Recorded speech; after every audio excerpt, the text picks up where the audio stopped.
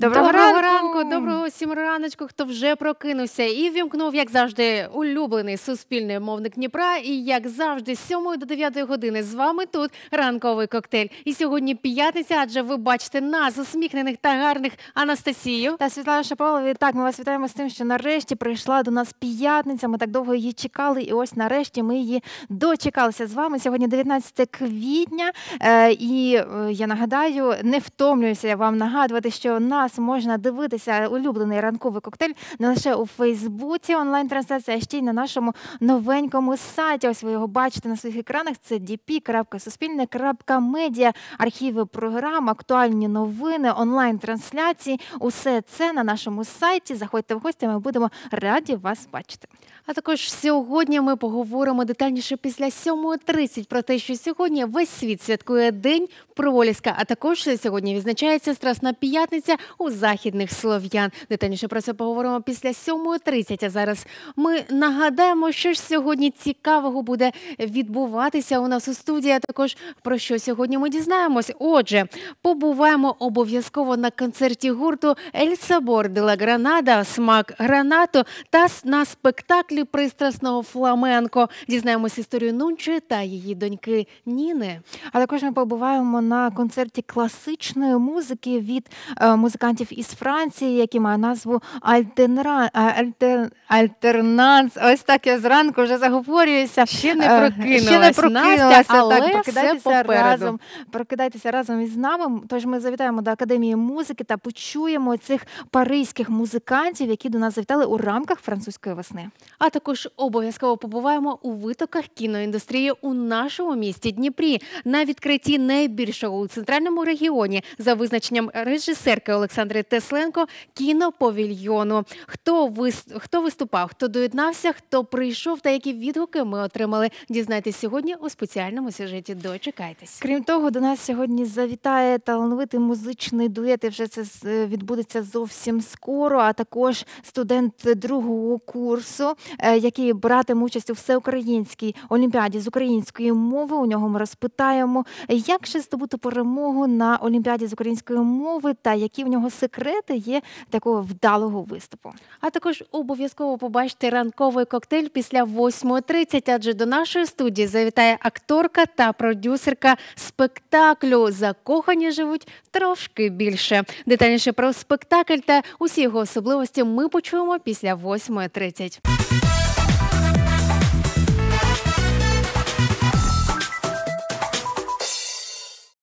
А ми повертаємося до нашої ранкової студії. Будемо розпочинати ранок, як ми обіцяли на початку програми, музично разом із талановитими музикантами Дніпра. І їх звуть Поліна Карпенко, вокалістка, учениця музичної школи імені Михайла Глінки, клас Сазонової Марії.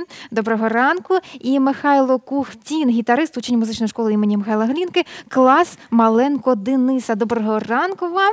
Доброго ранку. Доброго. Ось такі юні музиканти, але дуже обдаровані, вже з'явилися в нашій студії, і маємо надію, що зовсім скоро ми їх почуємо. А е, одразу ми розпитаємо трошки про творчість. Е, дякуючи чому та кому все ж таки утворився такий ваш е, творчий дует. Як зібралися? Я гадаю, це завдяки нашим вчителям, тому що Завдяки музичній школі та нашим викладачам. вони нас зібрали. Запропонували нам таку ідею зіграти ці пісні, які я виконую, які він грає, зіграти разом. А коли вперше ви потренувалися, що, що відчули? Що ви склався дует? Ну все, все добре, супер, клас, будемо виступати. Чи як це відбувалося? Пам'ятаєте першу свою зустріч? Ну, це була моя перша зустріч з гітаристом, і я ніколи не співала до цього під живу музику. І це було дуже круто. У мене такі одразу відчуття, емоції. Це по-іншому, ніж під фонограму. А чому обрали саме такий склад? Е, Це вокал і електрогітара. Чи є якісь плани розширювати е, дует на тріо або на квартет? Так, можливо, ми додамо потім барабанний синтезатор, ще бас. Тобто хочеться все-таки більш е, повнозвучного такого звичайно. Ну а чому першочергово саме такий склад? Тому що це дуже легко. Гітара вона невелика, її легше носити, ніж барабани. Все дуже просто. Все дуже просто. Е, Розкажіть про свій трошечки репертуар, що зараз співаєте, з чого розпочинали, що там в планах може е, хочете заспівати. Зараз ми навчаємося в музичній школі, і тому ми беремо більш такі технічні пісні, і тому ми співаємо зараз джаз більше, але у майбутньому ми сподіваємося, будемо співати і сучасні пісні, і джаз, і все, що, все, що буде. Є наразі улюблена у тебе пісня? У нас, нас не тільки нас не настільки багато пісень в репертуарі, тому, мабуть, всі пісні, які ми разом співаємо, вони найулюбленіші. А скільки ж пісень в репертуарі? Небагато. Приблизно. До десяти. Ну так, так. Такий міні-альбом. Міні-альбом. Вже, вже є міні-альбом, можна випускати, Ну, записуватися. Ми ж, ми ж тільки поки що авторський не беремо, тільки Ну, це, як знаєте, кавер такий. Кавери, кавери. Усі зараз співають кавери. теж. Е, так, ну ви є учасниками, як ми знаємо, всеукраїнських та міжнародних конкурсів. На вашу думку, що дають ці заходи е, його учасникам? Чому варто чи не варто брати участь у них? Михайло хоче відповісти. Е, Я гадаю, що ці конкурси дають багато ученикам. Це досвід, який вони отримують перед публікою. І це дуже гарно, тому що якщо учень хоче бути музикантом у майбутньому, то це дуже гарний досвід для нього. Пам'ятаєш свій найемоційніший конкурс, чи такий найвідповідальніший Ну, конкурс, коли ти хвилювався? Що це був за конкурс? Це був конкурс у Миколаєві у 2017 2017 році. Це був мій перший конкурс такий великий, і я дуже гарно його пам'ятаю. Що там тобі запам'яталося? Скільки було учасників, яка атмосфера? Чи ти лише пам'ятаєш, що так я йшов на нервував. сцену, як Е, Я пам'ятаю дуже великий зал, е, зал самого конкурсу і зал гала-концерту. Вони були оба дуже-дуже великі і дуже красиві. І це мені це мене дуже вразило. Супер, одразу така велика сцена, молодець. Чи не розгубився ти? Чи так зібрався? Не зовсім. Зібрався, як міг. І гарно, гарно зіграв. Молодець, супер. Е, Ну, давайте, мабуть, вже і почуємо наш дует. То ми говоримо про музику, говоримо, проанонсуйте, що це буде, що ви проспіваєте. Це буде джазовий стандарт Lullaby of Birdland Джорджа Ширінга в обробці Даяни Рівс.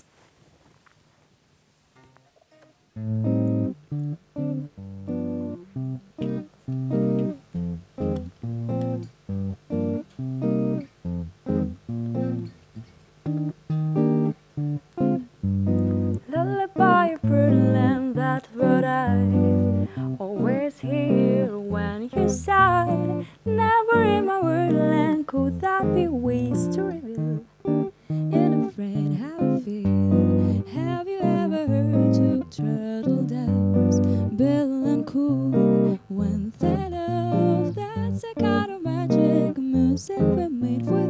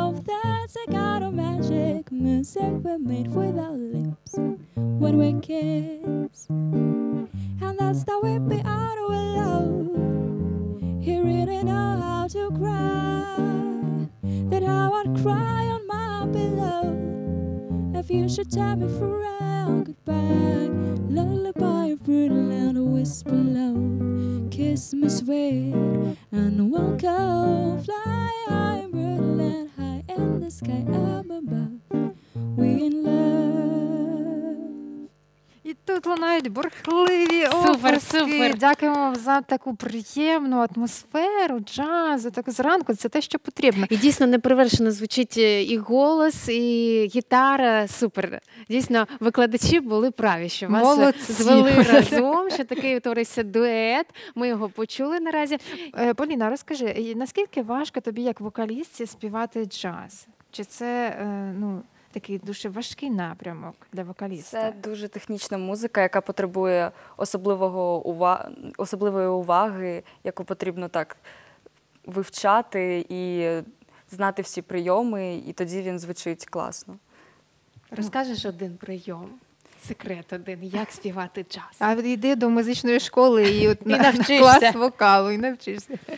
Там Це перший прийом. Там такий. повинні бути всілякі прийом, прийоми та і, ну, джазова імпровізація є, є ну, те, що я співала. Пара, пара, дай. Чи багато ти тренуєшся вдома, щоб оце так співати? Ну, я, мабуть, кожен день тренуюсь, тому що це потребує особливої уваги, тому що це джаз. А що сусіди кажуть? Сусіди поки мовчать. Як це мовчать? Гарно співаєш. Браво! Поки що нічого не кажуть. Тому все добре. співаю. Е, Поліна, у 2019 році ти брала участь у конкурсі Дніпр Войс, у 2018-му дует з зіркою, всеукраїнський фестиваль конкурс Берег талантів на Дніпрі. Сьомий міжнародний конкурс прем'єр також був у тебе. Е, Які дуже багато конкурсів. Е, Який з конкурсів став для тебе? Ось Михайло розказав про свій такий визначний яскравий конкурс. Е, Який конкурс став для тебе таким визначним? Це були два конкурси: ось Дніпро Войс 2019 та дует з зіркою. Бо на дуеті з зіркою я познайомилася з Артемом Каєм. Це дуже ну, відносно популярна особа. Я дуже вдячна, тому що я з ним познайомилась. А на Дніпро Войс був дуже масштабний конкурс е, між е, дніпрянами та з інших міст. І я дуже вдячна, тому що я змогла поучаствувати в цих конкурсах. Ну, а які результати на цих конкурсах? Тобто, це е, я знаю, що ти другу премію за друге місце. Так. Так, я взяла друге місце. Ну, чи очікувала таких результатів? Ні, я дуже здивувалася, коли я пройшла у фінал Дніпро Войс. А коли зайняла ще друге місце, це було дуже таке здивування. Я не сподівалася, що я щось займу. Чи хочеш, чи бажаєш ти все ж таки стати першою у Дніпрі? Е, ну, не лише участь головне, а й здобути перемогу. Ну, не знаю, я намагаюся зараз зробити все, щоб мій вокал дійшов до високого рівня професійного, і, мабуть, це моя ціль така в майбутньому. Молодець. Михайло, давай поговоримо про тебе. Ти є лауреатом всеукраїнських та міжнародних конкурсів також, учасник джазових конкурсів України, таких як перформанс джаз у Миколаєві, джаз Палітра, е, місто Черкаси, джаз на Поштовій Кривий Ріг, джаз ЗП у Запоріжжі, ну і багато інших. Що для тебе ось е, з цих перелічених конкурсів став таким е, визначним кроком уперед? Це як я вже сказав, був джаз перформанс у Миколаєві. Мій, ну, мій перший досвід.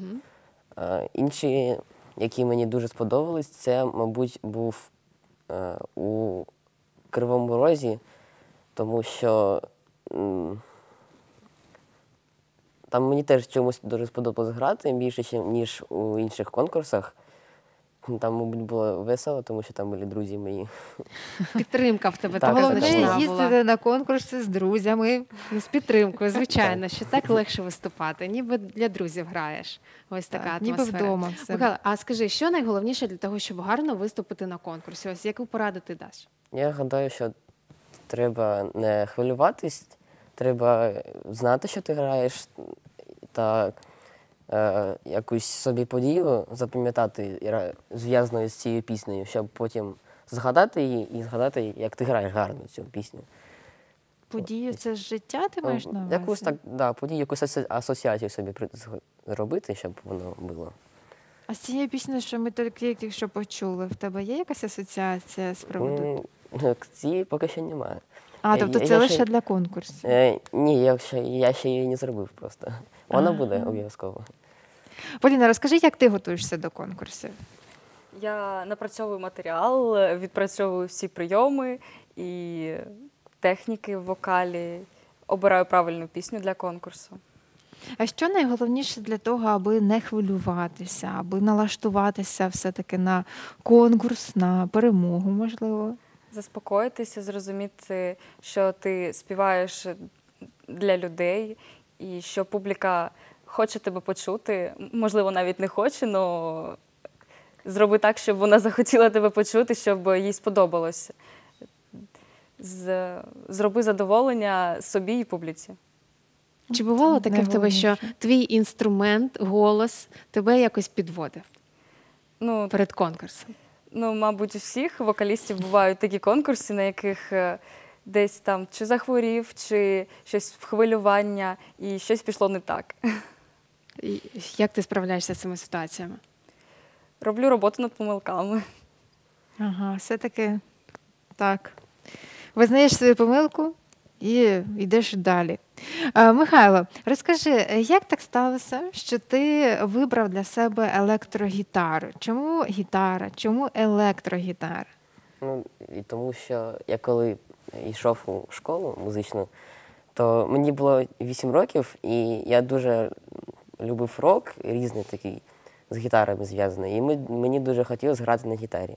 Тому я пішов на гітару, ось досі граю, але воно пішло на джаз як чомусь. І мені Не більше, на рок. більше джаз подобається навіть зараз, ніж рок. Я це уявила восьмирічний хлопчик і слухає рок. Heavy metal. А ти все ж таки розпочинав з класичної академічної Ну, гітари, так? так, Е, Як переключився на електрогітару? Це були не ну, це були якісь е, класичні теж музикальні п'єси, щоб зрозуміти, як грати на електрогітарі. Потім мені вже дали медіатор, джазові п'єси, щоб я е, переходив на джаз з класики. Поліна, розкажи про себе, як ти розпочала співати? Чи хтось у сім'ї в тебе співає? В мене бабуся грає на фортепіано, і тільки це такий е, музичний, музична людина в нашій родині. Я співаю з маленьких літ. Е, Я з шести років ходжу на вокал. Ось е, з минулого року я поступила до музичної школи і почала вивчати джаз. Я тільки рік вивчаю джаз, і мені дуже подобається. А до джазу що було? Сучасні пісні, рок, поп Естрада. і все, що тільки можна. І все-таки рок також був там з шести років. Ось що Ось, Поліна. ось що поєднало наших, наш дует, насправді. Е, ну, давайте ще одну композицію тоді заграємо. Що це буде, розкажіть. Це буде теж джазовий стандарт Cry Me a River Артура. Як його? Це буде джазовий стандарт Краймі Рівер. І- Супер, давайте його давайте. почуємо.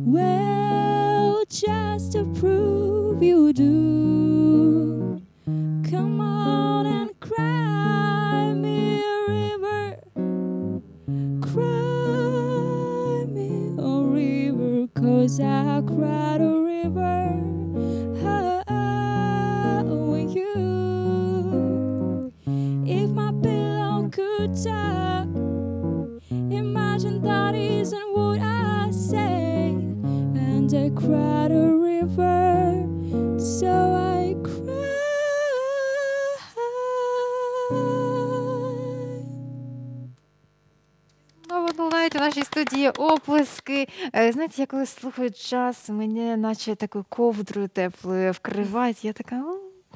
Ну, так тепло і так класно. І дуже дякую вам за це, що ви принесли цей джаз до нашої студії.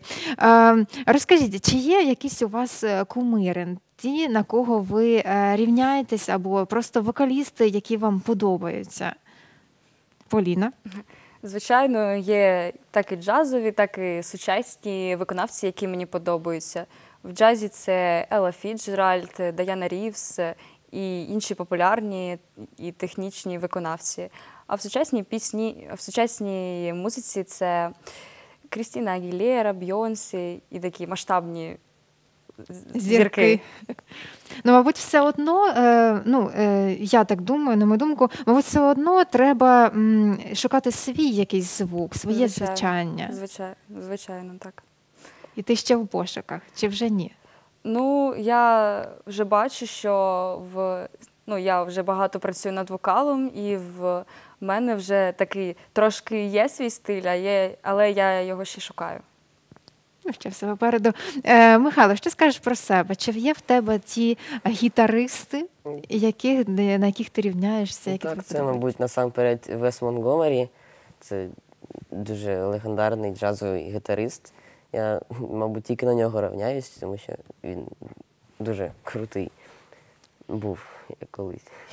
Е, Чи є у гітаристів таке поняття, як е, власне звучання, власний звук? Ну, да, власний стиль є такий. Це власний стиль гри, власний стиль імпровізації, як ти імпровізуєш, тому що ну, кожен, кожна людина вона різна, і тому кожен по-іншому грає. І ти можеш е, імпровізувати якось легко, а можеш імпровізувати дуже складно, і це твій характер визначає, як ти будеш грати. У вокалі ми зрозуміли, що імпровізація у джазі постійно є, а чи у інструментальній Так, музиці? так, теж імпровізація там теж є. Те, що ми почули зараз, там теж була імпровізація. Ні, Сьогодні, ні? сьогодні не було імпровізації, але вона теж є інструментал, інструментал, в інструментах. Вона і теж є. І теж багато є. Мгм. А для того, щоб отак е, злажено, гарно виступати, скільки ви на тиждень зустрічаєтесь, тренуєтесь разом, чи кожен окремо тренується, а потім там один раз на місяць ми зібралися разом. І звели все. Ну, ми займаємося постійно один раз на тиждень. Ми ці пісні відпрацьовували. І ще збираємося перед е, конкурсами, концертами два рази на тиждень, ну, якщо потрібно, частіше.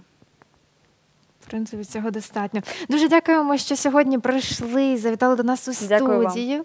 Так, е, подарували нам такий всепоглинаючий теплий джаз. Не знаю, як вам, глядачі, а мені дуже сподобалося. Йдіть на вокал обов'язково, йдіть І на електрогітару. Е, Ну, можна на класичну спочатку, як це Михайло. Приклад Михайла взяли за Так, Е. давай представимо, хто сьогодні у нас був. Це Поліна Карпенко, вокалістка, учениця музичної школи імені Михайла Галінки, клас Сазонової Марії, та Михайло Кухтін, гітарист, учень музичної школи імені Михайла Глінки, клас Маленко Дениса. Ось такі у нас сьогодні були. Ось такий дует у нас сьогодні був музичний.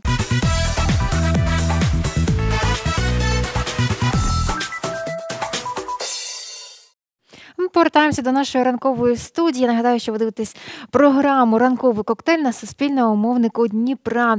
І наразі ми поговоримо про те, чим позначився день 19 квітня е, взагалі в історії і в сьогоденні світу і України. Тож сьогодні ми відзначаємо день е, проліска.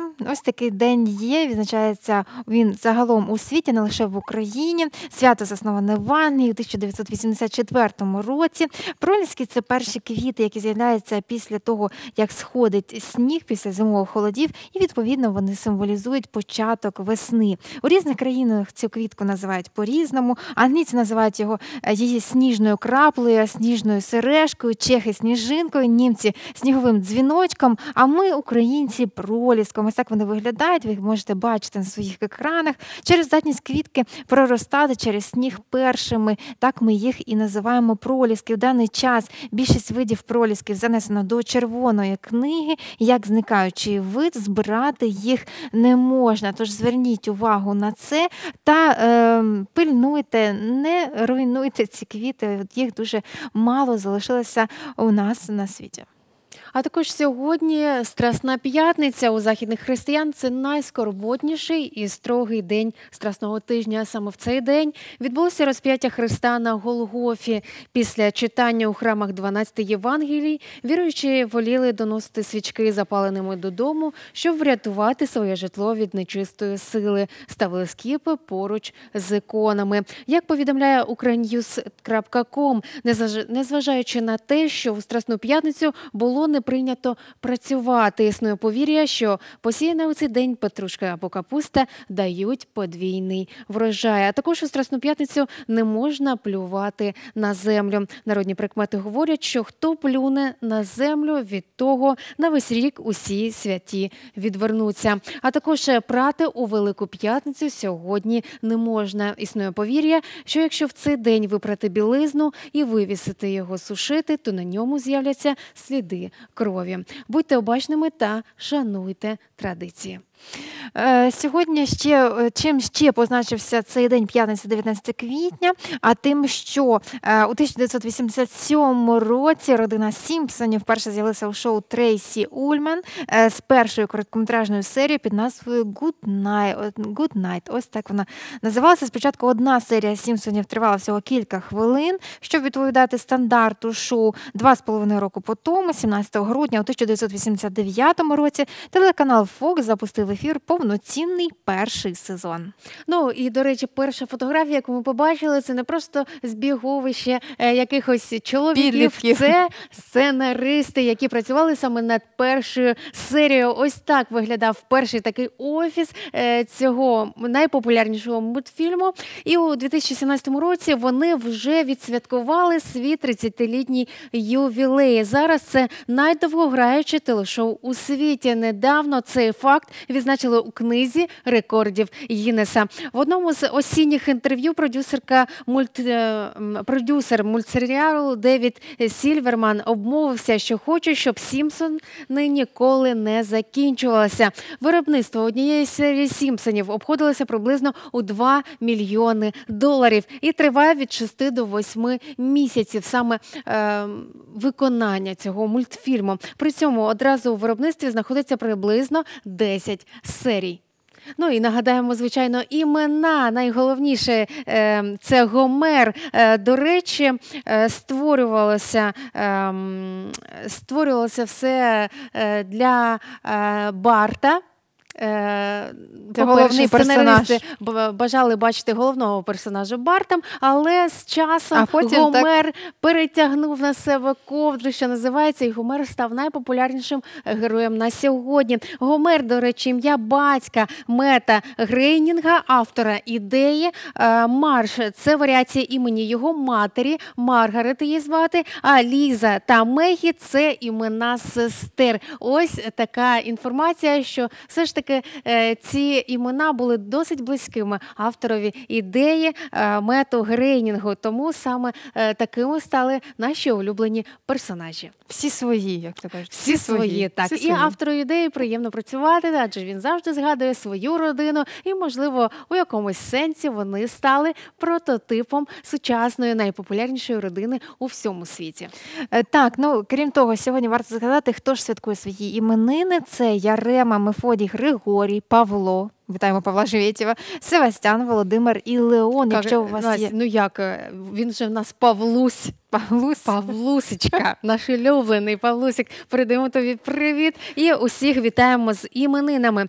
І ми прямуємо далі. Ранковий коктейль продовжується з е, тематики, що сьогодні відзначаємо. Переходимо до ранкової руханки. Ми трошечки розслабились під джазові мотиви, а тепер можна і трохи розім'ятися. Робити зарядку вранці це дуже корисна звичка, е, яка допомагає зберегти фігуру, скинути вагу і продовжує життя. До речі, перед літніми е, відпустками це досить добре розпочати таку традицію для себе. Ранкова гімнастика це розминка перед робочим днем. Вона допомагає кровоносній системі налаштуватися на денну активність і покращує постачання м'язів мозку, е, також просто м'язів внутрішніх органів і тканин.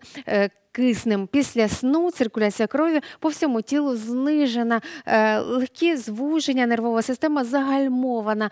Тож е, давати собі серйозне навантаження, типу бігу чи підіймання штанги, е, не рекомендується. А потрібно розпочинати з невеличкого пробудження, спокійного, плавного. Для себе щось оберіть там або йогу, або декілька вправ зробіть, або розтяжку, що вам ближче до душі. І ось так прокидайтеся і дайте прокинутись вашому організму, а не одразу його, знаєте, серйозно нава- навантажуйте. щоб потім оце впасти і все, і не встати вже. А ось е, після ранкової зарядки вже можна піти до спортзалу. А наразі ми не будемо ходити до спортзалу. Ми підемо до нашого ранкового тренера і е, добре е, у цю п'ятницю. Тож ранкова руханка, ранкова руханка продовжує наш ранковий ефір. Доброго ранку! Мене звати Марина, і сьогоднішню ранкову руханку ми проводимо у стилі пілатесу. Пілатес це дуже корисно для постави людини, для його психоемоційного стану. Починаємо з правильної постави. Ставимо ноги по ширині стегон, стопи паралельні одні одній. Збираємо пальці на ногах докупи. Коліна у нас повинні бути м'якими, трохи поворушить їми. Сідниці ми напружуємо та переводимо стегна уперед. Втягуємо до себе м'язи живота, вниз опускаємо ребра і робимо коло плечема назад. Лопатки збираємо докупи. За верхівкою голови тягнемося до стелі, а за кінчиками пальців рук тягнемося до пола. Витягуємося і, не змінюючи цього положення, робимо вдих. Вверх дих і униз видих. Нова вправа. Руками тянемося вперед, згинаємо руки, лікоть ведемо до середини спини, до хребта. Інша рука, яка залишається попереду, тягнеться ще сильніше уперед. Стегна нерухомі. Е, Робимо 10-12 рухів і розтягуємо бокові м'язи живота. Закінчили. Переходимо до іншої вправи. Переводимо руки у сторони, зафіксували лопатки, втягнули живіт і рухаємося вправо. Тягнемося за рукою. На видиху повертаємось до центру. Зараз інша рука. Стараємося макс- максимально витягнутися до сторони, так, щоб бокові м'язи прийшли в напружений стан. Наступна права присідання. Ставимо ноги по ширині стегон, пальці дивляться уперед, лопатки звели знов докупи, живот втягнули до себе, робимо вдих та повільно присідаємо донизу. Таз тягнемо назад, руками тягнемося вперед. На видиху плавно підіймаємось. Лопатки звели докупи, живіт втягнули, таз витягується назад, руки подовжуються, темп повільний. Робимо вдих та присідаємо донизу, таз відводимо назад, за руками тягнемося вперед. На видиху повільно підіймаємося. Зараз переходимо до наступної вправи. Переходимо на цю частину килимка. Ноги знову ставимо по ширині стегон, робимо видих, опускаємо голову донизу, руки повільно розслаблюються. Пальцями опускаємося та переходимо вперед. Лікті розводимо по сторонам, втягуємо до себе живіт, спина рівна і ногами тягнемося назад. Стоїмо у цій позі 30 секунд, потім опускаємося на коліно, переходимо назад у позу дитини.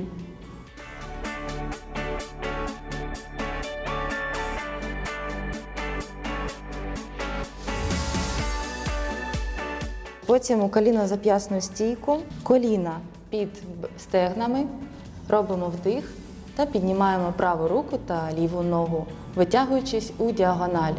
На видиху підставляємо їх на місця. Змінюємо пару, ліва рука, права нога, тягнемося уперед, вдих, видих, повертаємо їх на місця. Робимо 10-12 разів. Сідаємо у зручну позу, переводимо руки уперед, збираємо докупи та витягуємо верхню поверхню спини. Потім акуратно відкриваємо, переводимо руки за спину, лопатки переводимо до купи, розтягуючи грудну клітину та видихаємо. Розціпили руки, перевели їх на голову. Голову нахиляємо донизу, розтягуючи задню поверхню шиї. По одному позвонку підіймаємо голову. І тут робимо гарний вдих, потім видих, та ще один вдих і видих. Руки поєднуємо разом та аплодуємо собі. Сподіваюся, що ми дуже гарно розім'ялися, тож бажаю вам гарного здоров'я та гарного дня. До зустрічі! Ну а далі, чи б хотіли ви трохи подорожувати, наприклад, до сонячної та темпераментної Іспанії, сказати гарному хлопцеві кетал, комоеста, і е, трохи з ним потанцювати під пристрасні ритми танго е, та фламенко. Е, і не обов'язково зовсім подорожувати до Іспанії, адже у нашому місті проходять концерти спектаклі фламенко та іспанської гітари за участі гурту Ель Сабор де ла Гранада. Як це відбувалося? Давайте подивимось у нашому спеціальному сюжеті далі. Великим артистам велика сцена у Дніпропетровському академічному театрі драми та комедії відбувся театралізований музичний спектакль за участі талановитих музикантів Ель Сабор де ла Гранада на чолі з сильною вокалісткою Рузаною Степанян. Колеги за гуртом високо цінять її вокальний талант. Наша изюминка – это Рузана Степанян. Наша родзинка це Рузанна Степанян. Це найголовніша наша родзинка. Вона наше натхнення. Ми репетируємо та репертуар підбираємо, який підходить під її голос, її настрій та емоції. Вона ці емоції сублімує з нашими. Так народжується наш творчий синтез. Спочатку без головного талісману музиканти гурту Ель Сабори Гранада у перекладі з іспанської смак граната зустрічали глядачів вже у фоє темпераментним палким колоритом та танцювально театралізованим дійством, яке запрошувало до вистави одного разу у Коста Ламар.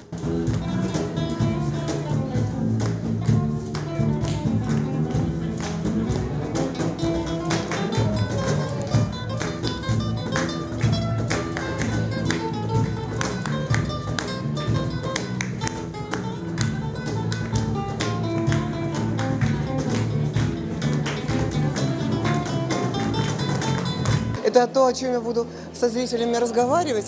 Это, конечно, безусловно, волнение. Це те, про що я буду розмовляти з глядачами. Це без сумніву хвилювання, але воно настільки радісне, хвилювання на межі щастя та ейфорії. Подивіться, як вони очікують. Вони настільки хочуть почути цю історію. А мені так хочеться їм все це розказати. І у нас сьогодні буде обмін енергією. Тут дуже багато друзів, які бачили цей спектакль у попередньому вигляді. Тепер вони хочуть подивитись, що я нового придумала.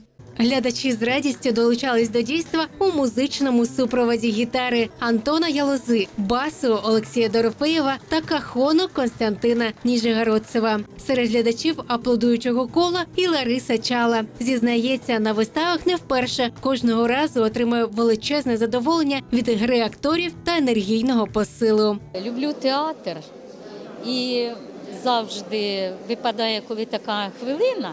Ми обов'язково із сестрою і з подругою відвідуємо театр Горького. І сьогодні надіємося, що отримаємо велику кількість позитивних емоцій і, звичайно, задоволення від е, такої прекрасної вистави. Почуємо е, ці музичні, незвичайні е, неаполітанські музику, танці побачити хочеться. Ну і взагалі, ми як пенсіонери дуже приємно, що нам десь розвіяться і побувати у такому приємному місці в театрі. Глядачка Юлія з подругою сьогодні тут, тому що захоплена культурою Іспанії та танцем фламенко. привлекает культура других стран, очень интересен вот стиль фламенко. Приваблює культура інших країн. Дуже цікавий мені стиль фламенко, Іспанія, темпераментна музика, гарні танцівниці, свій норов, національна гордість. А коли це все разом, плюс спектакль з сюжетною лінією, це стало основною причиною, чому ми тут. Серед відвідувачів вечора у залі і учениця акторки спектаклю одного разу у Косталамар Софія. Дівчина ділиться, прийшла займатись через дитячі спогади. Дуже хотіла побачити сьогоднішній виступ, оскільки буде виступати мій тренер. Я дуже хотіла побачити, як вона поставила свій номер. Я танцюю нещодавно, місяця 3-4. Вже була на змаганнях, завоювала призові місця. Мені дуже сподобалось. І коли я маленькою побувала у Іспанії, дуже сподобалось спрямування фламенко. Дівчина настільки емоційно танцювала, що мені самій захотілось спробувати. Вистава плавно перетікає на велику сцену. Глядачі розсаджуються по своїм місцям, і концерт розпочинається діалогом головної акторки Наталі Новостроєної з закоханим моряком. Героїня, сміючись, розказує йому історію торговки овочами Нунчі та її доньки Ніни. Не знаю, может быть, кому-то это будет странно, но в нашем приморском городке Костоломара так принято. Умберто, послушай, я смотрю, тебе в море выходить не надо. Твоим ре- ремеслом ты заработаешь гораздо больше. Нет, ну действительно. А еще вот эта сеньора, которая тебе бросила, по-моему, даже евро. О жизни, о любви. Це історія про саме життя, про кохання, вірність, честь та обов'язок. Усе, що передбачає хореографічний стиль фламенко. Музика чудового колективу Смак Граната буде мені допомагати розказувати цю історію.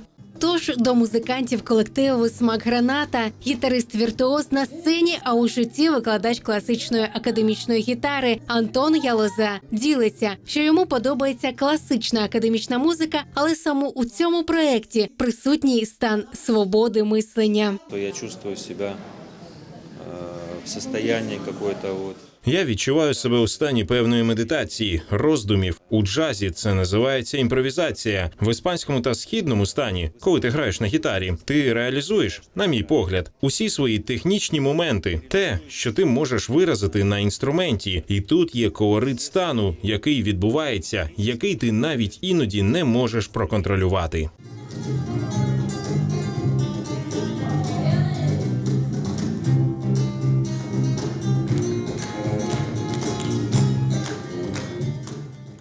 На сцені цього вечора розігрувалась історія привабливої та веселої вдови торговки овочами Нунчі, яка з часом почала втрачати вроду, і на її місце веселої та привабливої красуні стала претендувати її донька Ніна. Історія закінчується трагічно. Головна героїня через небажання поступатися місцем доньці помирає під час танцю перед кавалером.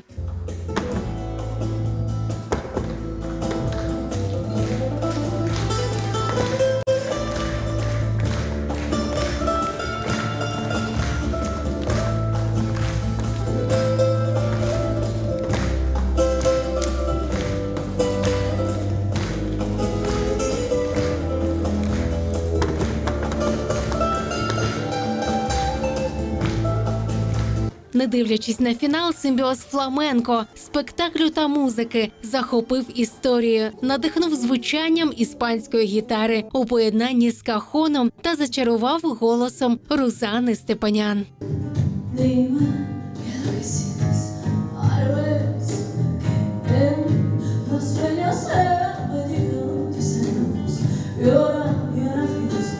Dime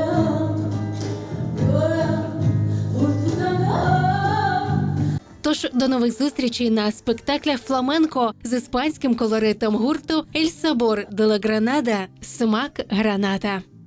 Ми повертаємося до нашої ранкової студії. Я нагадаю, що ви дивитесь програму Ранковий коктейль. Та сьогодні п'ятниця, 19 квітня. І отже, ми вже готові зустрічати нашого другого ранкового гостя. А перед цим лише вдумайтесь у ці слова. Мова це не просто спосіб спілкування, а щось більш значуще. Мова це всі глибинні пласти духовного життя народу, його історична пам'ять найцінніше надбання віків. Мова це ще й музика, мелодика, фарби, буття, сучасна, художня, інтелектуальна і мисленнєва діяльність народу. Так сказав про мову Олесь Гончар. І далі ми поговоримо саме про неї, тому що у нашій студії вже з'явився Павло Малянчук, студент другого курсу Дніпропетровського державного коледжу будівельно-монтажних технологій та архітектури, який готується наразі до всеукраїнської олімпіади з української мови. Про мову, підготовку та власне про е, перемоги можливі поспілкуємося з нашим гостем. Доброго ранку. Доброго ранку. Ну, Розкажіть, Павло, як так сталося, що майбутній архітектор е, бере участь у всеукраїнській олімпіаді з української мови? Взагалі, вчителька спочатку розповіла нам про те, що буде конкурс, про те, що буде Олімпіада. Найкращі ті, хто знають українську мову, у мене в групі пішли, ну, пішли складати цей іспит.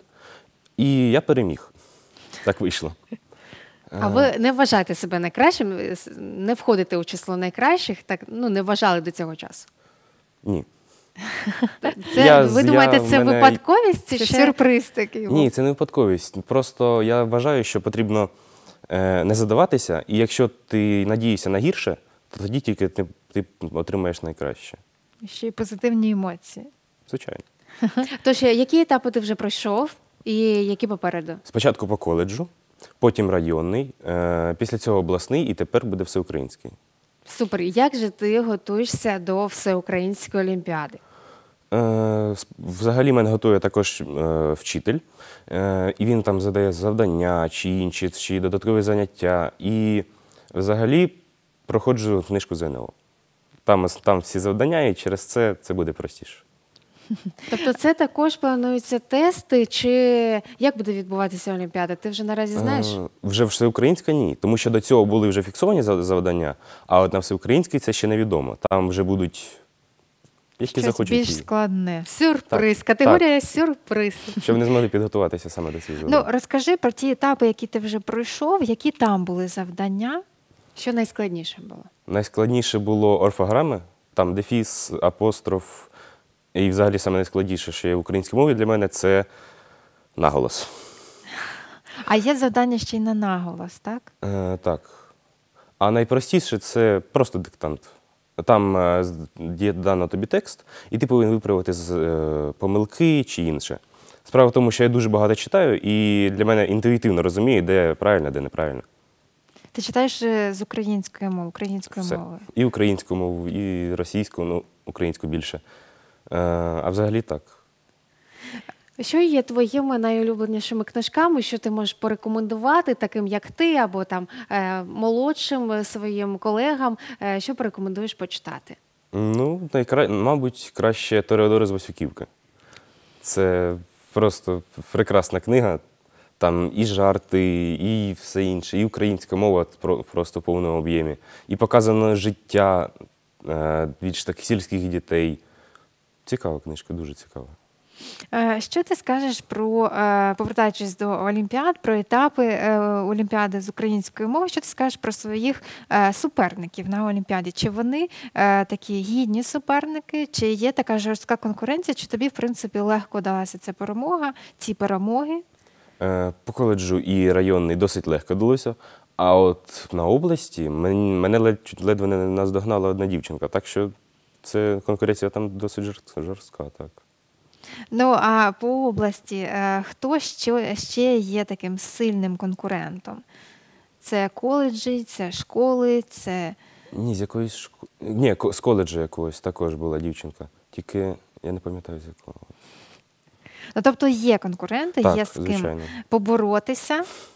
Е, ну, а на Всеукраїнській Олімпіаді, я так розумію, що там вже будуть з усієї України Так. усі е, такі най, е, найрозумніші, найкращі такі Особливо- знавці Так, української особливо, мови. напевно, будуть складні ті, що Закарпаття. Там все-таки більше знають українську мову. І от там треба буде боротися. Але ж все ж таки у них є діалекти. Можливо, це якось їх сплутає Можливо. карти, знаєте? Надіюсь. Е, Тож, е, що для тебе є запорукою успіху? Е, Окрім того, що ти ось готуєшся кожного дня, проходиш якісь вправи, Читаєш. читаєш. Що ще для тебе є запорукою успіху? Не боятися, бути впевненим. Тому що якщо ти прийшов і ти вважаєш, що ти трошки не зможеш, ти що то не, не знаєш, то все. Тобі кінець. Ти сам заплутаєшся в своїх же думках, ти будеш боятися і ти нічого не напишеш. Справа в тому, що перед обласною е, мене не пам'ятаю, я трошки розізлився, і це просто з таких емоцій я от, от їм всім пішов і написав так. І виграв. Так може перед всеукраїнською також тобі зателефонувати, Так, щось, треба. щось сказати таке неприємне. Усі, усієї України, усім, усією Дніпропетровщиною будемо дзвонити і казати щось неприємне. Давайте. А, як е, твій секрет, от щоб не нервувати? Бо зазвичай е, е, на Олімпіадах, ну по особистому досвіду, скажу, що дуже важко впоратися із нервуванням, із хвилюванням. Як твоя порада, як не нервувати, як з цим впоратися? Вмикати, напевно, режим флегматика. Все. Ну там програ- програють, нічого страшного. Там вони хтось прийшов також ще сильний, та нічого виграє. Так, так, так. І так можна виграти. Так, Ну а що для тебе найголовніше зараз? Участь чи все ж таки перемога? перемога. Звичайно. Хочеться перемоги, так? Так. Е, Що це для тебе буде означає, е, означати? Це як, е, м, це як новий рівень, на який ти вийшов. Це як перемога, як коли ти собі е, вже довів, що ти що то можеш, що ти щось е, вмієш, що ти знаєш українську мову, і що ти маєш змогу перемагати.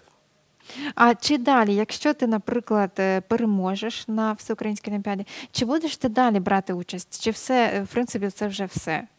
Голо ціль досягнута, можна переключитися на інший предмет, наприклад. Вивчити іншу мову і стати там першим.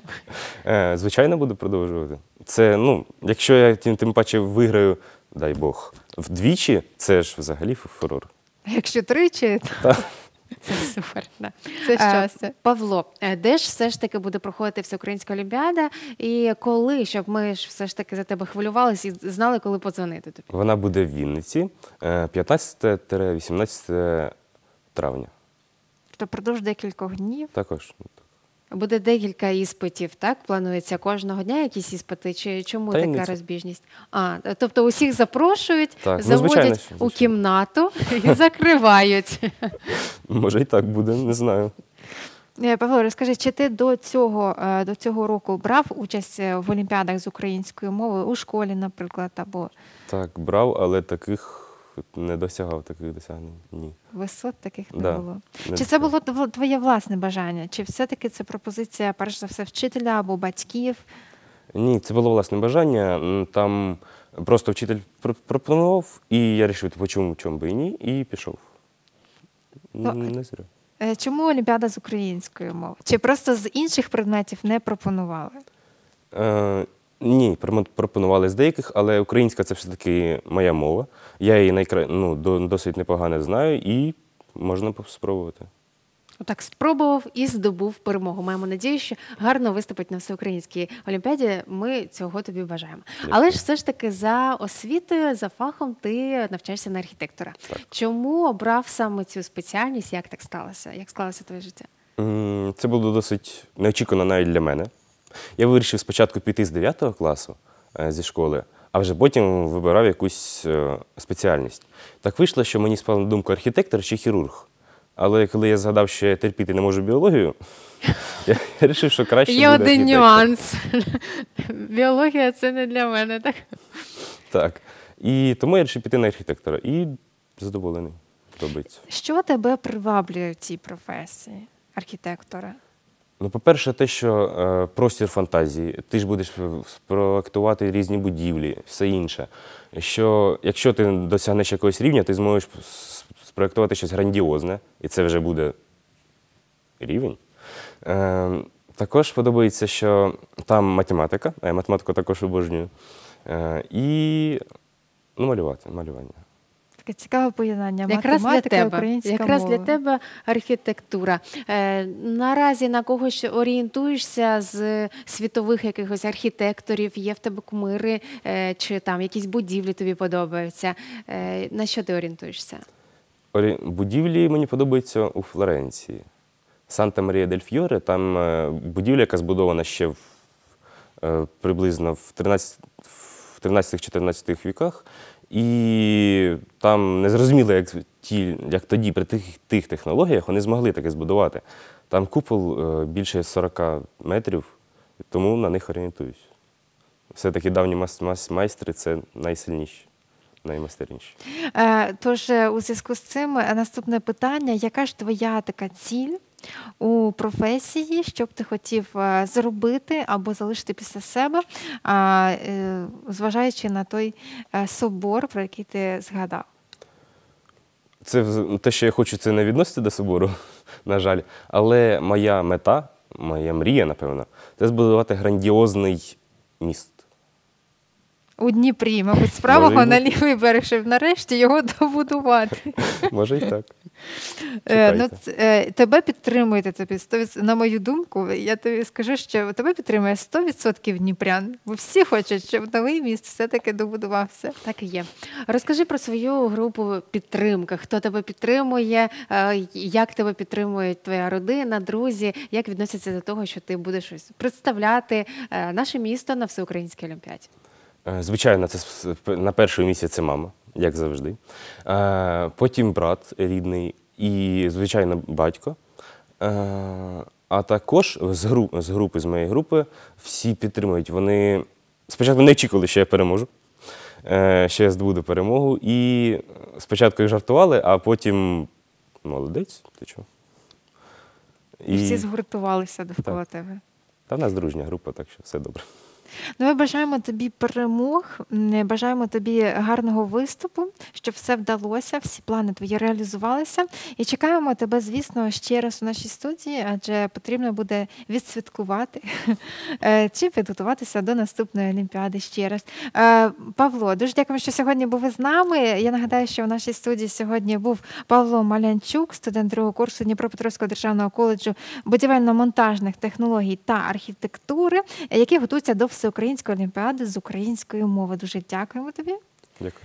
Е, Ну, а ранковий коктейль буде продовжуватися далі. Ми е, вже згадували на початку програми про французьку весну, яка крокує Дніпром та Україною з 5 до 25 квітня. Е, і ми завітали, наші ранкові журналісти завітали до Академії музики та почули концерт французького ансамблю Альтернанс. Що ж там було, що виконували та хто долучився? Давайте дізнаємося з нашого наступного сюжету. Клод Дебюсі, Жерар Бессон, Філіп Ерсан. Класичну музику французьких композиторів у виконанні ансамблю Альтернанс почули дніпровці. 17 квітня концерт музикантів із Парижа відбувся у стінах Дніпровської академії музики у рамках французької весни.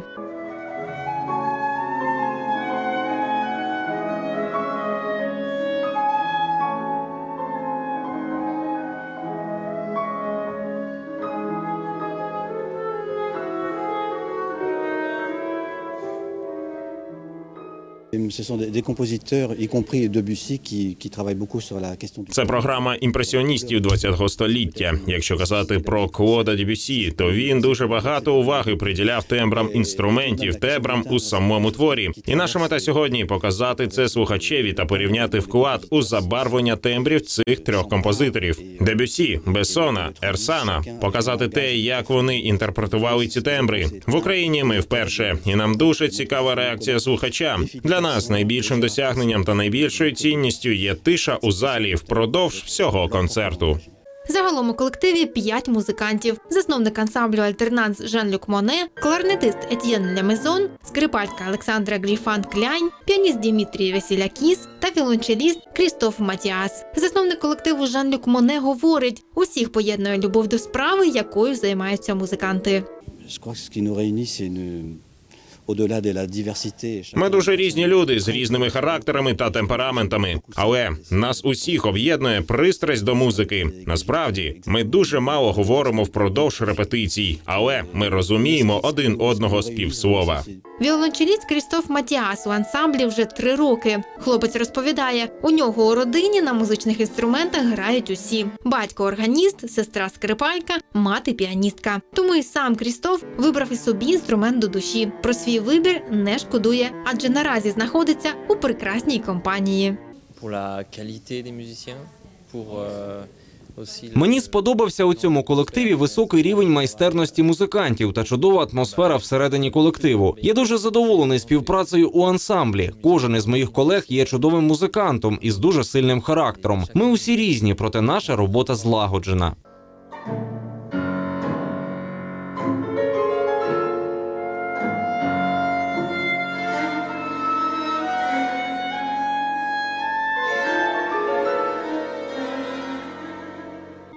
Останні півтора року музиканти ансамблю Альтернанс відвідали три континенти: Латинську Америку, Азію та Африку. кажуть, у кожній із країн, де бували з концертами, публіка особлива, проте у всіх є щось спільне. Це, звісно, любов до музики. Euh,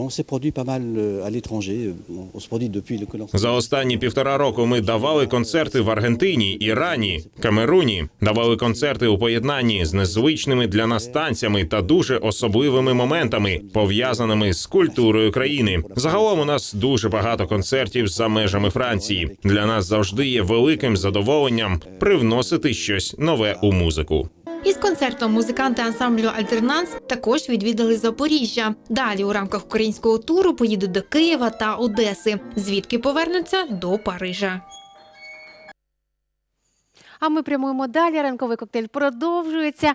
І е, наразі проанонсуємо, що сьогодні буде відбуватися та надалі на вихідних у нашому місті. 19 квітня, тобто сьогодні вже відбудеться е, серія побачень без слів «Eye-gazing» з англійською зоровий контакт. І саме в цей вечір пройде зустріч, під час яких гості зможуть поспілкуватися, але без слів. Адже очі це дзеркало душі. Наскільки ця ідея спрацює, побачимо сьогодні.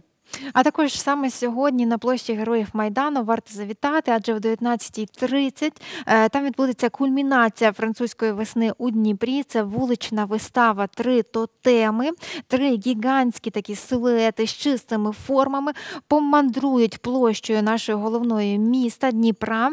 Е, Вони будуть рухатися повільно та м'яко, граційно е, між людьми. Потім почнуть танцювати. Вулична вистава це справжня феєрична прогулянка в персонажів е, більше е, трьох метрів висотою у легких костюмах від артистів із Франції. Вони гулятимуть площу, розважатимуть маленьких та великих мешканців міста. Неперевершена вулична вистава розпочнеться о 19.30 вже сьогодні, цього вечора на головній площі Героїв Майдану. Тож не пропустіть.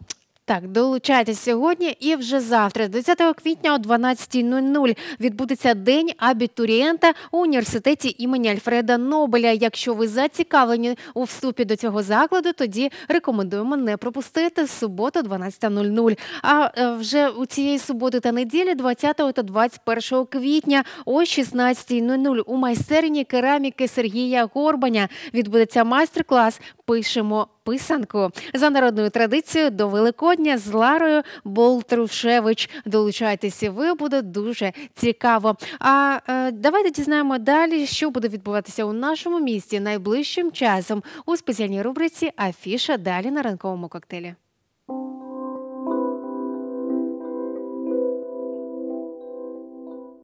У Дніпропетровському історичному музеї імені Дмитра Яворницького відкрита для відвідування виставка Французький слід в історії України середина 18-го, початок 20-го століття. Автори експозиції Валентина Лазебник, Ірина Завалова, Василь Ростьопа та Майя Ернст.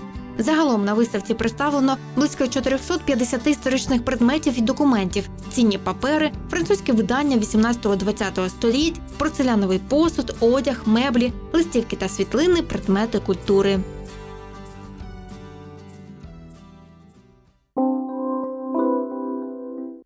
У музеї літературне Придніпров'я продовжує експонуватись фотовиставка Мури між людьми. Автори експозиції Олександр Новоселов та Франк Нес під час подорожей від Тихуани до Белфаста і Єрусалиму зібрали фоторепортаж про вісім різних мурів, які нагадують про суперечливу відкритість світу та глобалізацію.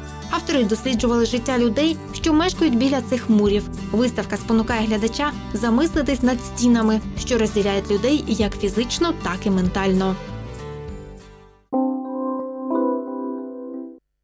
У галереї Артсвіт відкрита для відвідування виставка Назара Білика Уявні відстані. Автор родом зі Львова наразі живе та працює у Києві. Є учасником групових та персональних виставок в Україні, Німеччині, Австрії, Швейцарії, Великобританії та США.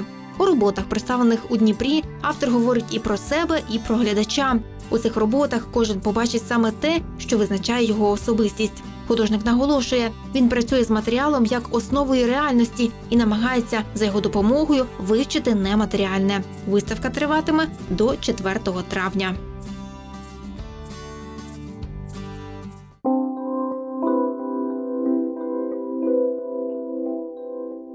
Повертаємося до нашої ранкової студії, до усміхнених ведучих ранкового коктейлю та наших е, ранкових гостей.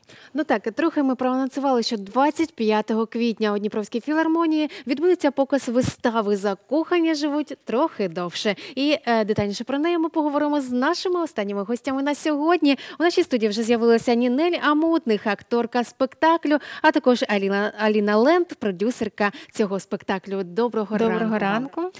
Тож вже більше двох років існує ваш спектакль Закохані живуть трохи довше. Розкажіть е, про е, цей спектакль трохи більше нашим сьогоднішнім Про глядачам. що він? Давайте я так в двух словах скажу. Э, м, Спектакль атмосферный, спектакль э, насыщенный в, в плане эмоций, глубины э, жизни, которая проходит человек в течение вс- ну, э, всего своего отрезка жизненной своей линии. И э, в- здесь интересно и интригующе, что здесь про, прожита жизнь трех женщин, э, ихняя дружба в длину и в жизнь, и я повторяю все время это слово «жизнь, жизнь, жизнь», потому что, как ни крути, это такой фатум, это судьба, и кусок этой судьбы э, отмечен в этом спектакле. И э, коктейль душевных переживаний, которые проходят в каждой, у каждого из нас за период нашего су- существования на планете Земля. Здесь как раз вот, э, ну, как бы представлен в этом спектакле. И э, для меня, как для продюсера, очень важно, чтобы э, картина художника, она была с глубиной, чтобы зритель, который пришел, зритель что-то для себя отметил, не только получил какую-то эмоцию, да, и что-то вот вдохновился, а чтобы он для себя что-то вынес и подчеркнул, чтобы для него эта картина осталась наверное, навсегда в сердце, и э, м, если что-то бы ему хотелось поменять и изменить, он бы это сделал. Скільки загалом акторів задіяно у виставі? Ви сказали, там є три е, головні персонажі. Е, І хто ці актори? Давайте я, наверное, отвечу.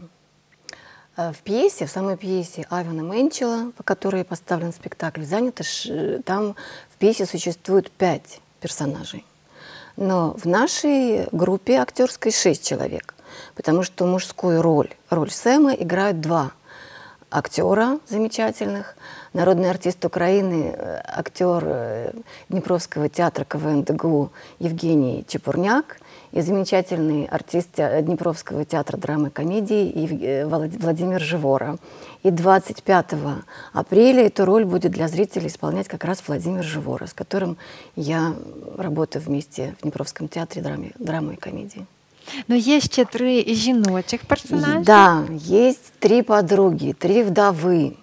Можно сказать, таких три разных отношения к жизни, три темперамента, три разных э, способа существования. Вот как бы, если так соверш- совсем условно их разделить, то можно сказать, что одна из них холерик, одна меланхолик, а одна сангвиник. Ну, как бы средина и две крайности, два полюса. И вот эти три взгляда на жизнь представляют эти три героини. Еще есть одна эпизодическая роль, эм, подруга, знакомая их. Я могу перечислить, кто занят в нашем спектакле еще дальше, потому что это очень необычный проект для нашего города. Мы собрались вместе из разных театров, и было очень интересно и сложно, и полезно поработать в таком проекте, который, кстати, организовала Елена Володина, исполнительница роли Люсиль в этом спектакле, актриса Днепровского театра драмы и комедии. Еще в, спектакле занята народная артистка Украины Лариса Руснак, актриса Киевского театра имени Франко. Я играю роль Иды, я служу в театре драмы и комедии, и роль Милдред, эпизодическую роль, исполняет эм, актриса э, Днепровского молодежного театра камерная сцена Оля, Ольга Кузьмина. Вот Розкажіть про свій хар- е, персонаж, е, який, ви- який ви граєте. Ну, я играю Иду, одну из подруг, э, вдову, ко- похоронившую мужа. И как вот они организовали такой м, женский кружок, они вспоминают о прошлом, они верны памяти. И вдруг случается событие, которое заставляет их как-то пересмотреть эти свои традиции и как-то принимать решение о том, как же жить дальше. И ну, мне не хочется как бы подробности сюжета сейчас пересказывать, пускай это будет такой интригой для зрителей. Но сюжет выписан очень классно, профессионально, хорошим литературным языком. Я еще вот недавно как-то напомнила и узнала о том, что Айван Менчел, драматург, он, он же является, он известный голливудский сценарист и драматург, он написал сценарий для аналога американского сериала «Моя прекрасная няня». Вот у них там шел такой аналогичный сериал, он автор сценария. То есть это креп- крепкий профессиональный драматург, текст замечательный, и юмор там есть, и грусть в нем есть, и ностальгия, и как- как- какие-то, может быть, м, размышления о жизни. И это все, ну, вообще хорошая драматургия, это очень-очень большой залог успеха спектакля. Ну, если говорить языком зрителя, то зритель там и насмеется, и наплачется, ну, грубо говоря, да, он увидит там все, что, в принципе, встречает в течение всего, всего своего э, пребывания э, в, в мире. Э, И очень важно то, что он действительно, как бы, там затронута тема, там, вдо- вдо- ну, очень многих зрителей пугает, к примеру, и э, что там какие-то такие линии есть, где присутствует там, э, ну вот как сказала Нинель, э, я вдова, и как бы их три вдовы. Здесь не- нечего пугаться, потому что, по сути, э, в этом нету какой-то вот именно тра- э, трагической ситуации. Э, Здесь просто подчеркнуто правильно, очень грамотно др- драматургически э, внутреннее состояние персонажей, вот именно вот этой вот э, драматургической линии. А, на- самом деле спектакль действительно очень атмосферный, и в нем э, собрана ну, коллаборация всех смешанных чувств. Зритель увидит, услышит и окунется в невероятную атмосферу, при которой режиссер подобрал очень хорошие музыкальные композиции, очень интересная сценография. И два часа, к- вот когда я смотрела постановку, они для меня прошли незаметно, вот так вот в одну, в одну секунду. Это действительно очень емкий, интересный, самое э, главное, грамотный проект такой вот, если говорить уже языком менеджмента. А языком зрителя это чувственный, глубокий, нежный, трогательный, смешной э, спектакль. Трохи заговорили про глядачів. Якраз на кого розрахований цей спектакль, кому порекомендуєте прийти, відвідати і ось е, надихнутися ось цими переживаннями головних ге- героїв. Ну, в, в пьесе там 40 плюс э, персонажи, но я хочу сказать, что м, для тех людей, которые знают толк в театре, любят театр, любят хорошую драматургию, это э, у нас были зрители, ну и знакомые, и незнакомые, до 30 лет. Этот э, текст написан таким образом, что вот э, уже было сказано, что о, о грустном говорится с юмором, а с юмором вот этот жанр трагикомедии, он хорошо выдержан в произведении, мы стараемся его подчеркнуть своей игрой, э, когда реплика вызывает у зрителей смех, и на следующей реплике у него выступают слезы на глазах, и вот это все, вот эта гамма чувств, она все время держит внимание зрительское, поэтому я думаю, что этот спектакль будет интересен всем.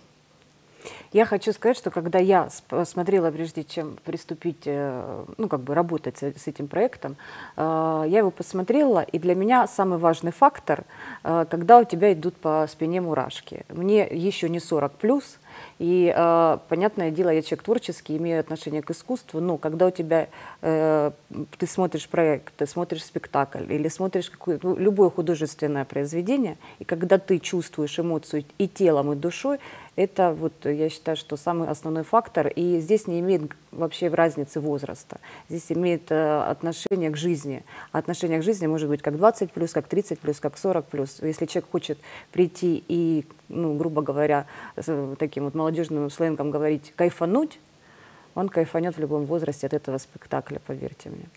Ви сказали про те, що актори зібралися з різних театрів. А хто виступив режисером цього проєкту, цієї вистави? Режиссер нашего спектакля Андрей Евсеенко, он же актер и режиссер Днепровского театра КВН ДГУ. Он работал с нами, он взял на себя такую ответственность. Що скажете про роботу із режисером, з цим режисером? Мы работали, ну, у нас как-то и существует э, как бы один взгляд профессиональный на пьесу. Как бы. Вот это очень важно, когда встречается команда, чтобы было какое-то общее ощущение профессии, общий вкус какой-то соответствовал, совпадал в чем-то. Были какие-то моменты, которые мы долго обсуждали, долго искали какие-то общие решения. Я очень благодарна за то, что вот он настаивая на своем каком-то мнении, на своем решении, он заставлял искать, находиться в таком постоянном поиске внутреннем. Это очень полезно для артиста всегда. И, и этот поиск продолжается на каждом спектакле, потому что каждый спектакль, он новый. Актер приходит новый на спектакль, с новым настроением, уже немножко другой, чем в прошлый раз. И каждый раз это как, э, как, бы, как будто заново все, как, как в первый раз. В этом и, наверное, загадка театра, потому что каждый раз, играя один и тот же спектакль, артисты играют немножко по-разному, потому что про- происходит каждый раз новая история. Жанр вистави це трагікомедія. І чи важко втілювати образи у такому жанрі? Ну, это очень хоро- как бы интересный жанр. Это такой жанр на грани. Уже в самом названии трагедия, комедия. Мы должны находиться между. Мы должны найти такое состояние, такую интонацию внутреннюю, чтобы не слишком упасть э, в драму и не слишком за- за- засмешить, не, чтобы вот вы, вот я же говорю, чтобы быстро переключаться самому и вести за собой зрителя вот от этого смеха к слезам, к раздумьям и наоборот, и вот так вот лавировать между этими эмоциями, вот, вот это вы- выдерживать эту грань. Но артист должен уметь это делать. Мы стараемся. Що може піти не так під час виступів? Або мені, як глядачу з, з глядацької зали, мені здається, що все відрепетировано, все так чітко зла- злагоджено, все поставлено. І якщо навіть мені потім кажуть, що там щось пішло не так, я цього не помічаю. О, это вообще бывают такие... э, Я вам расскажу сейчас историю. Пе- Премьера, первый спектакль на сцене театра оперы и балета. Поскольку это антрепризный спектакль, у нас нет э, помощников, мы реквизит, все, в общем, готовим сами для себя. И было очень сильное волнение. Первый спектакль, большая ответственность. И я забыла себе приготовить туфли за кулисами. У меня в конце спектакля такая сцена, из которой я выхожу со сцены в халате и в тапках фиолетового цвета. Я должна за 15 секунд надеть пальто, надеть туфли и выйти в следующую сцену уже в глубокую осень, шляпа, листва. И мы уже в холод, там совсем другая сцена. И вот эти 15 секунд я захожу за кулисы в тапках и в халате, и я понимаю, что туфель нет. Вообще нет. Вот это состояние, когда вот это проваливаешься в какую-то бездну и летишь, и я так глазами по ногам сразу, у всех по ногам, по ногам, и не понимаю, что же мне делать. У меня два варианта, или выйти босиком в пальто, или выйти в пальто в фиолетовых тапках. Вот как бы вот, вот такая. И рядом со мной стоит администратор, наша Ирина, которая нам помогала. У нее на ногах кроссовки, мокасины такие, растоптанные мокасины в тон моего пальто, но они на два размера меньше, чем у меня. И мы так друг на друга, она говорит, на! И снимает эти мокасины, и я вот в этом шоковом состоянии, я влезаю в мокасины, выхожу в сцену, мы проводим эту сцену, мы заканчиваем спектакль, но самое интересное, это был комментарий моей приятельницы, актрисы нашего театра, которая сидела в зале, и она мне позвонила, говорит, замечательно, боже мой, как вас одели.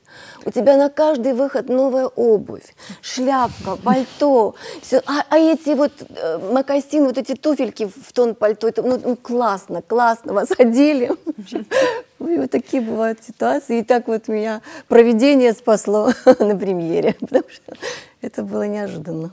Головне, що глядачеві сподобалося і що він нічого не помітив. Ну, курьезов всегда много, и глядачи, как правило, никогда э, не замечают их. Иногда зрители замечают, конечно, но артисты должны уметь обыграть это, как-то обыграть. Или- Импровизировать, да. да. в юмор это вы- вывести в какой-то, или по- друг другу помочь как-то, под реплику какую-то подать.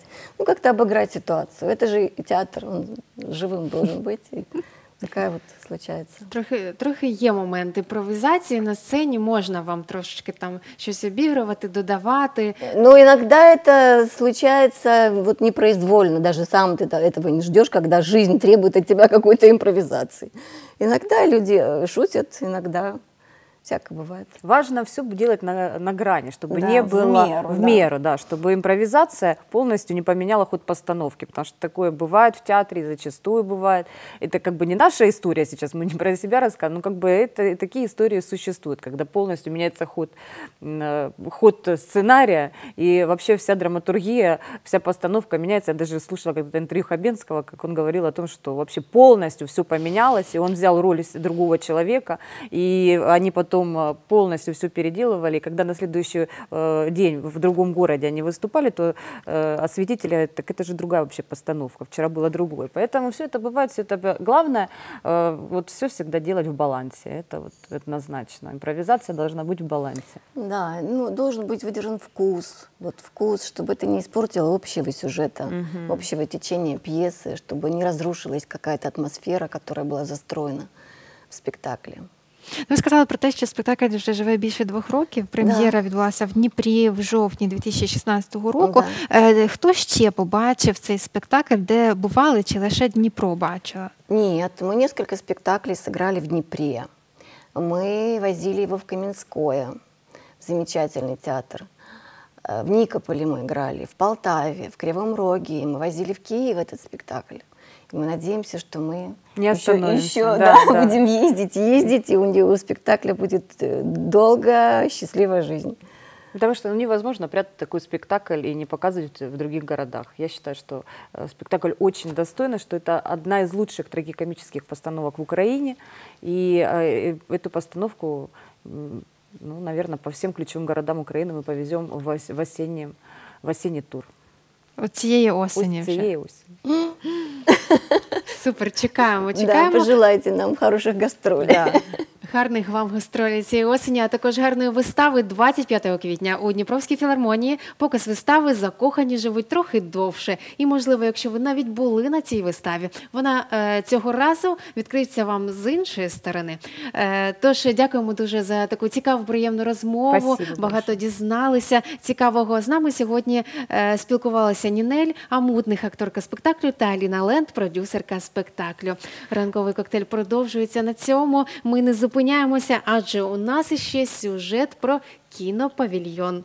Е, Так, е, вже нещодавно, буквально 10 квітня, відбувся відкриття е, найбільшого в центральному регіоні кінопавільйонного комплексу за визначенням режисерки Олександри Тесленко. Хто завітав на відкриття, що відбувалося там, та як кінопавільйон пов'язаний із музикою. Про все це далі в нашому спеціальному сюжеті. Джазова музика, чорно-білі фото та ненав'язлива атмосфера спілкування людей, зацікавлених кіно. У Дніпрі відкрився кінопавільйон та разом із тим муві хаб, тобто майданчик для зустрічі дніпровців, що мають стосунок або інтерес до кіно. Ми максимально прикладаємо зусиль для розвитку кіноіндустрії в нашому регіоні, тому що це важливо, щоб кіно знімалося не тільки в- Києві, да, в столиці, а в усіх регіонах розвивалося. Чим більше буде українських кінофільмів, тим більше буде якісного контенту, на яких буде свій глядач в кінотеатрі. Ми в цьому році вже знімаємо коротку стрічку фільму да, на міжнародний ринок, щоб представити наші місцеві локації. На 20-й рік у нас вже є в планах повнометражна стрічка в розвиток препродакшн. Тобто ми з свого боку максимально прикладаємо зусиль. І я сподіваюся, що нас підтримує там Одеса, Львів, і у нас е, буде класне кіно українське. І зникне це уявлення у нашого українського глядача, що українське кіно це не дуже якісний контент. Сам кінопавільйон займає площу 300 квадратних метрів та розташований у будинку Дніпровського телецентру. Новим доповненням стала циклорама спеціальна конструкція, що використовується у фото та кінозйомках. Саме вона стала сценою, на якій виступали дніпровські музиканти на чолі з трубачем Яковом Цвітінським. Сьогоднішній концерт буде присвячений творчості Мелса Девіса, його музиці і музиці, яку він грав е, інших композиторів. Мені здається, це правильно, е, правильний символ грати музику Мелса Девіса, е, родоначальника нових жанрів, е, на концерті відкритті нового е, музичного місця і місця для нового місцевого кінематографу.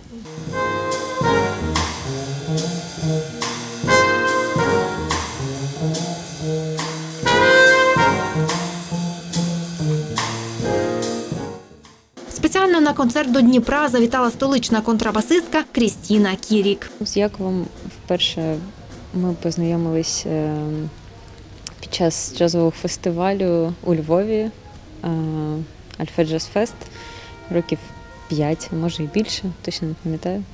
Е, Ми просто тоді на джемсейшені зустрілись і грали разом. І останні роки ми грали у різних концертах разом. Так само Яков запросив мене на запис е, свого дебютного альбому, який незабаром вийде.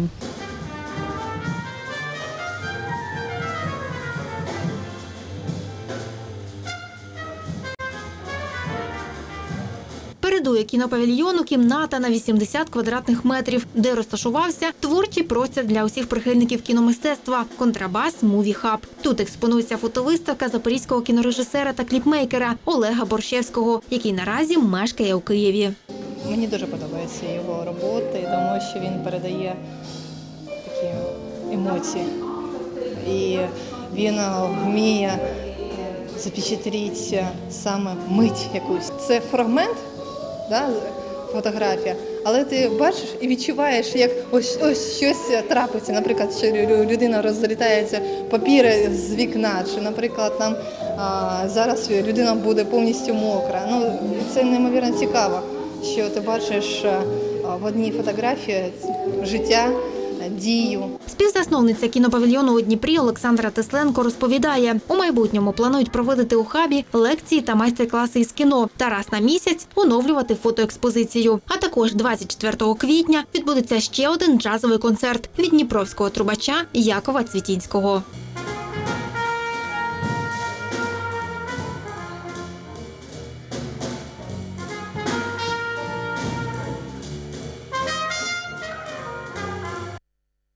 Такій музичній джазовій ноті ми будемо Ну, завершувати наш ранковий ефір. Як і розпочинали, так і будемо завершувати джазом. Тож бажаємо усім у цієї п'ятниці е, прожити джазово і зробити джаз у своєму житті. А у це поняття ви можете вкласти все, що завгодно, все, що душа будь-яку, будь-яку імпровізацію. Так, і пам'ятайте про те, що саме сьогодні, 19 квітня, о 19.30 варто завітати на площу Героїв Майдану, нашу центральну площу Дніпра, та побачити е, трьохметрових таких е, вуличних артистів, е, які будуть дарувати вам вуличний спектакль три тотеми в рамках французької Ну, весни. що вони означають, що ж це таке, як це відбувається. Буде дуже цікаво. Це у рамках французької весни у нашому місті. А на цьому, на жаль, ранковий коктейль добігає свого кінця. Так, вже 9 годиночка. І з 7 до 9 кожного дня ми вас чекаємо саме тут, на ранковому коктейлі, на Суспільному мовнику Дніпра. Долучайтесь вже з понеділка ми знову з вами. А з вами сьогодні прокидалася Світлана. Та Анастасія Шаповалова. До наступної зустрічі. Побачимось зовсім скоро. До Па-па. понеділка.